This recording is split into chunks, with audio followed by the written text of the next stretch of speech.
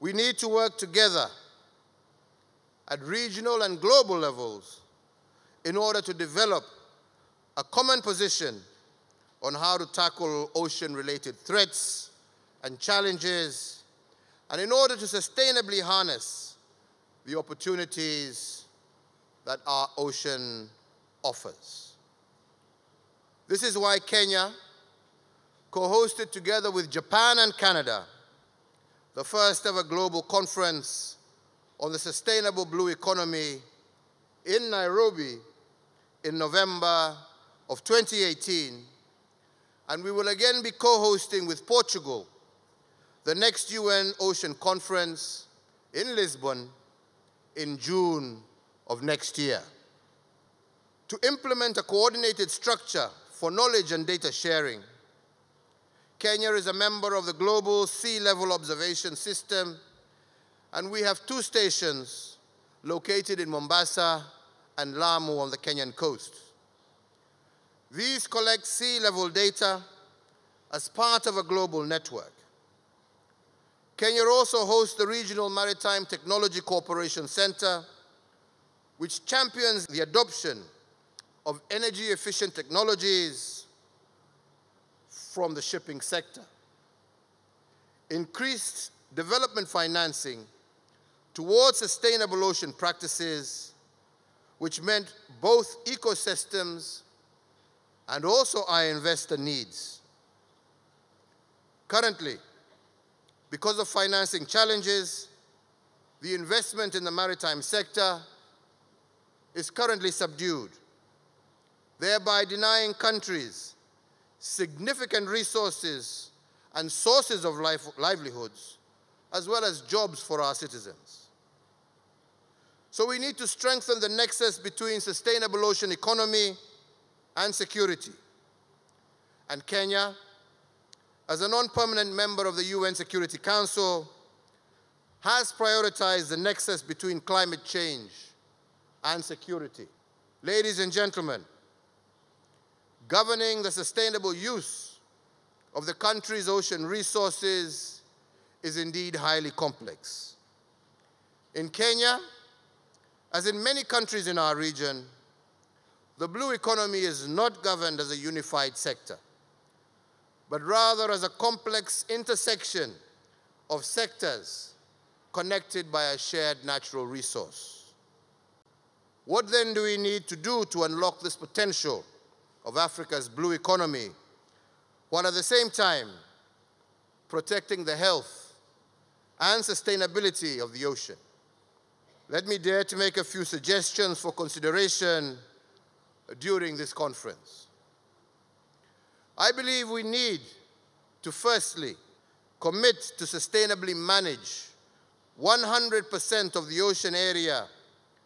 Kenya is currently developing a marine spatial plan, and as a member of the Global Ocean Alliance, we are committed to put up to 30% of our oceans under marine protected areas by the year 2030. The second is to strengthen maritime security.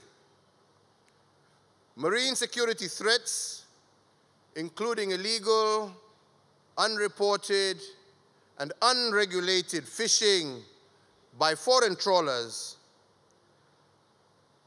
degrades our marine ecosystems, and also through the dumping of toxic waste and the destruction of our coral reefs and coastal forests, all have a negative effect on the future of our oceans.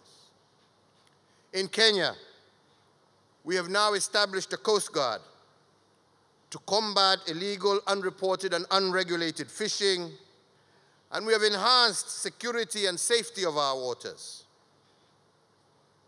The third aspect is to conserve our mangrove resource and to protect fragile seagrass and coral reef ecosystems. In Kenya, our Mikoko Pamoja, the mangrove conservation and restoration project that we have started in Gazi Bay in Kenya aims to provide long-term incentives for mangrove protection and restoration through community involvement and community benefit. The fourth is to empower our small-scale fishers as stewards of our marine ecosystems. The fifth, to control ocean pollution, and in this regard, Kenya has banned the use of single-use plastics in our country. Here in Africa, we have a self-serving interest to maintain a healthy ocean. Indeed, as we all know, the COVID-19 pandemic has left many of our economies devastated.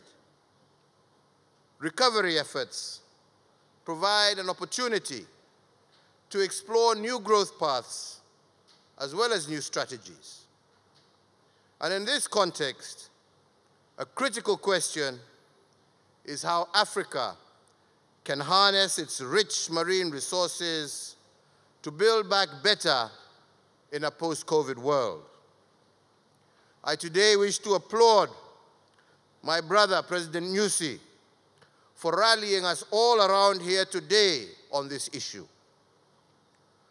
Ladies and gentlemen, the African Union Agenda 2063 recognizes the blue economy as a lever for economic transformation and growth, especially for its 38 coastal and small island states.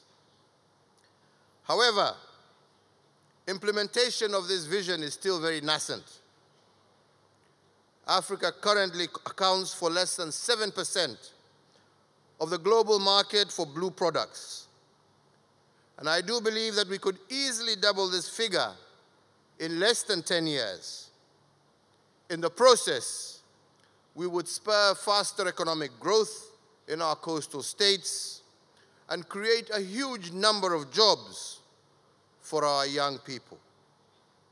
It is a great pleasure to join you today at the invitation of my brother, the President of Mozambique, to join you in this Blue Economy Conference, which focuses on an issue that is of increasing importance to all of us on the African continent. This is in context of climate change and also as a new frontier of growth for African economies. Indeed, as the conference theme highlights, and I quote, investing in the ocean's health is investing in the future of our planet, end of quote. And indeed, a healthy ocean is central to human health as well as our wealth. The ocean contains 97% of the Earth's water. It supplies half of the oxygen that we breathe and regulates the weather and temperature. Research undertaken under the aegis of the Ocean Panel, of which I serve as a member, indicates that the ocean-based climate action could provide about 21% of the carbon mitigation needed to meet the Paris Agreement goals by 2050. In addition, the ocean is an untapped economic development frontier. The ocean has an estimated asset base of over 24 trillion US dollars. It is a source of food and livelihoods for at least 3 billion people worldwide, and about 90% of all the world's goods are traded across our oceans. With smart management practices, the ocean can sustainably produce up to two-thirds of all our animal protein needed to feed the world's population by 2050. I have noted that Mozambique has established a Ministry of Sea, Inland Waters and Fisheries, and we in Kenya are looking to Mozambique for instructive lessons on managing this complex sector. So as I conclude, ladies and gentlemen, I wish to take this opportunity to welcome all of you to Nairobi for the fifth session of the United Nations Environmental Assembly, UNEA 5.2, which will be followed on the 3rd and 4th of March next year by a commemoration of 50 years since the inception of UNEP. I also, ladies and gentlemen, take this opportunity to also invite all of you to Lisbon for the second United Nations Ocean Conference that will be held on the 27th of June to the 1st of July 2022, a conference co-hosted by Kenya and Portugal, and I look forward to seeing you all there. I conclude by once again thanking my brother President Nyusi and all the organizers for the effort putting this conference together. And indeed, I thank you for your warm welcome, and I look forward to participating in the ongoing deliberations. Asante sana, thank you very much. Thank you.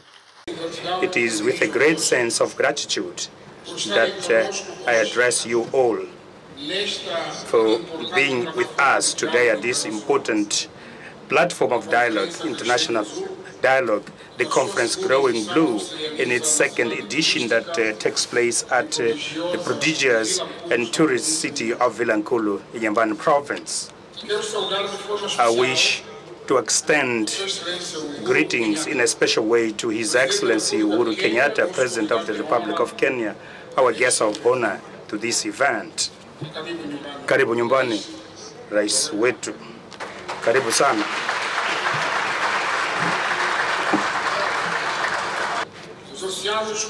Oceans as regulators of uh, uh, the climate and temperature should be understood as a common a heritage for the humanity are a critical element of continuity of human life, in addition to being uh, the providers of uh, food and livelihoods for millions of people.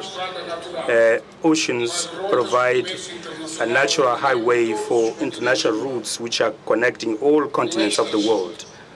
For these and more reasons, uh, protection of oceans is indeed a central element for the achievement of uh, the Sustainable Development Goals so that our actions today do not threaten the welfare of the coming generations.